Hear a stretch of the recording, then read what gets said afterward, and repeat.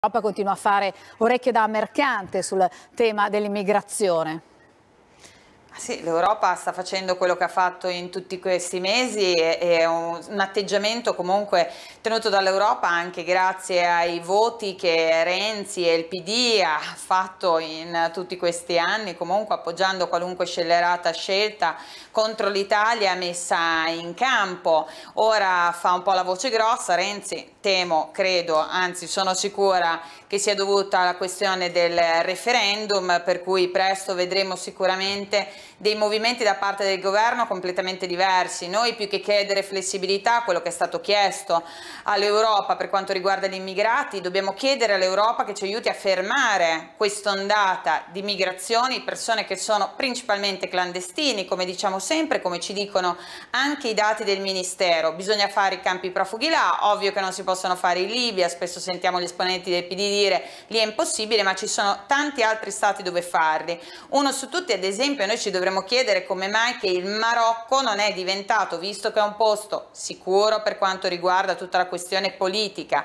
e anche una nazione comunque in forte crescita, ha avuto un attimo di stop quest'anno per dei problemi legati all'agricoltura, però ha una crescita che noi ce l'avessimo in Italia saremmo solamente che felici, questi posti devono diventare posti dove fare i campi profughi, dove riconoscere lì le persone che vanno comunque salvate, perché noi ci troviamo a fare arrivare una marea di clandestini nel nostro paese a non salvare in realtà le persone che realmente andrebbero salvate. Abbiamo, o per meglio dire, il PD ha la coscienza sporca di tutta la gente che muore in mare e tutta la gente che finisce nelle mani della criminalità organizzata nel nostro paese e tutto questo le uniche persone che ne traggono un vantaggio sono le cooperative. Questo bisogna dirlo, è il vero dramma che stiamo vivendo è che gli italiani non riescono più a essere aiutati da un sistema del welfare che è saltato, un sistema del welfare che è stato spostato di fatto sugli immigrati che ne usufruiscono anche parzialmente, perché quelli che ne usufruiscono sono queste grandi e piccole cooperative, abbiamo visto e vediamo di continuo situazioni trattate dai giornali, dai telegiornali, situazioni invivibili dove vengono messe queste persone, oppure dall'altra parte situazioni come super hotel dove vengono messe persone che sono di fatto clandestini, ti dicono non mi va bene l'acqua, vorrei i vestiti firmati perché non c'è il wifi e poi di fianco magari vediamo il padre separato, la persona che non è riuscita ad andare in pensione per colpa della Fornero, dormire in macchina e non arrivare a fine mese.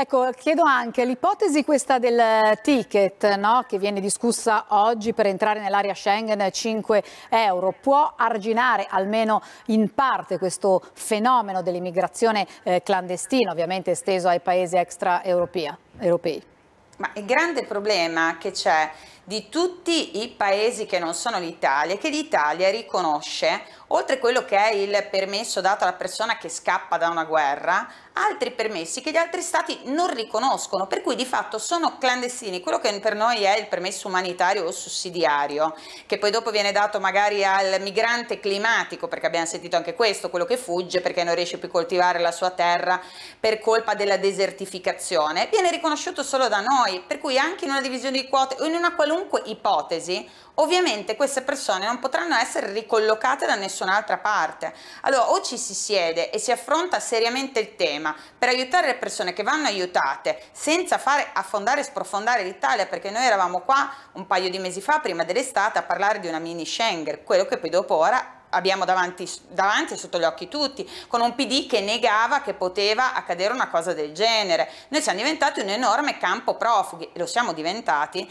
perché abbiamo avuto una politica di chi ci gestisce completamente prona all'Europa, perché durante il semestre europeo Renzi non ha fatto niente per arginare questo fenomeno, non ha fatto niente, è andato a chiedere flessibilità, a chiedere dei soldi per poter dare durante le elezioni comunali e lo scorso referendum e durante questo referendum sta cercando di avere questa flessibilità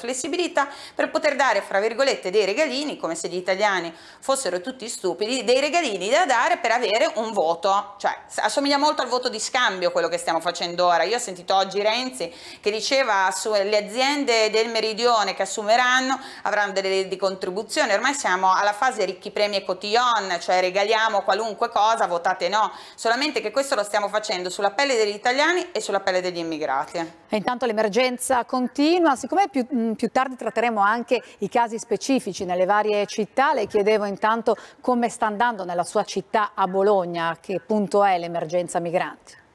Eh, da noi c'è un grande problema che è iniziato a luglio 2014 perché il sindaco non c'è stato imposto, l'ha voluto il sindaco del PD Merola. È stato aperto uno, perché ora ne abbiamo due, uno degli hub regionali di smistamento, per cui noi ci troviamo con un territorio sovraccarico di persone clandestine, perché molte sono fuggite appena arrivate qua con i pullman, circa il 40% erano gli ultimi dati che abbiamo avuto, in più c'è tutto un problema legato anche a quello che sono i controlli sanitari appena arrivano, perché spesso ne arrivano troppi, arrivano direttamente appena sbarcati, non hanno avuto i controlli adeguati, se non il controllo quello proprio eh, sanguini, stai male, hai la febbre alta, arrivano qua e non li hanno neanche qua, addirittura spesso li hanno nel secondo posto dove vengono spostati. Noi su Bologna abbiamo addirittura 500 persone con il foglio di via dato dalla questura che di fatto però non sono mai state cacciate perché quello che era che oggi è l'hub un tempo era il CIE, un grande problema che noi abbiamo in Italia che sono rimasti pochissimi centri di identificazione. Molti di questi sono, funzionano solamente a metà perché ci sono stati dei problemi per cui non funzionano in toto. Allora anche quando si prende qualcuno che magari viene da una nazione come il Marocco dove abbiamo degli accordi per poterli rimandare là per cui non ci sono problemi, abbiamo accordi con, con eh, lo Stato del Marocco, non abbiamo, se non c'è un aereo subito, un posto dove poter certo. tenere queste persone che andrebbero allontanate e gli si dice fra una settimana, cinque giorni, due giorni venite all'aeroporto che vi eh, portiamo di nuovo in Marocco. Ovviamente, come tutti possono immaginare, non si presenta nessuno.